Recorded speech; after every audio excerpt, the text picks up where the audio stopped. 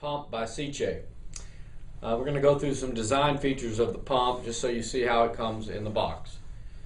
All the units come standard with barb fittings that can be used for flexible tubing. They don't need Teflon tape. They have an O-ring seal.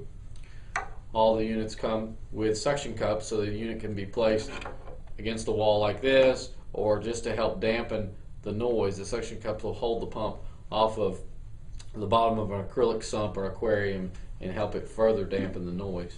That's something that's great about the Sincra pumps. They are silent because they use a synchronous motor and the tolerances are much higher, the rotation speed's different, and it's the quietest pump on the market.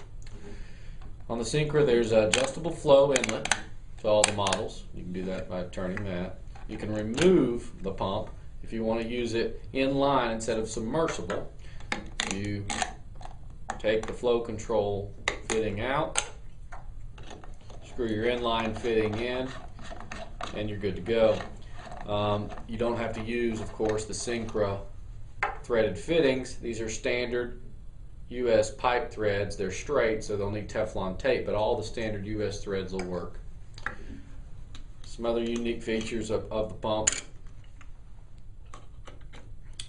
All, it's all ceramic, uh, ceramic bearings, ceramic seats.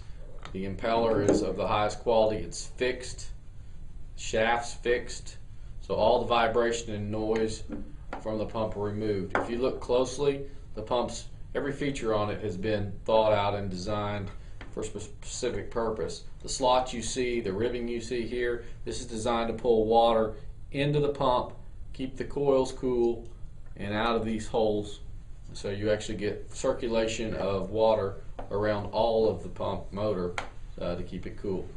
And that is the sync.